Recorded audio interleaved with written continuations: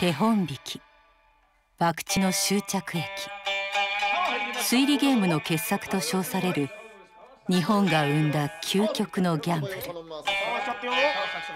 これは手本引きにのめり込み全てを失った男の物語。このお金を預かってくれんかよ。かすり子やらしちゃってや。ほんまにかすり子やるかですか？盆中で小銭恵んでもらう惨めな商売やき。あんた無理したらいかんよ。岡田食いもん買うてきや。かすりかすり。かすりかや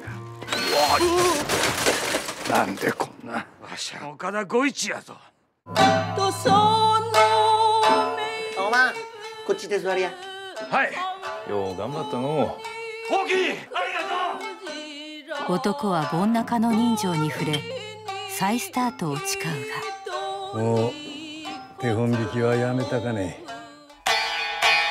自分がもう一遍昔のような商売ができるようになったら前から思いっきり張りたいです。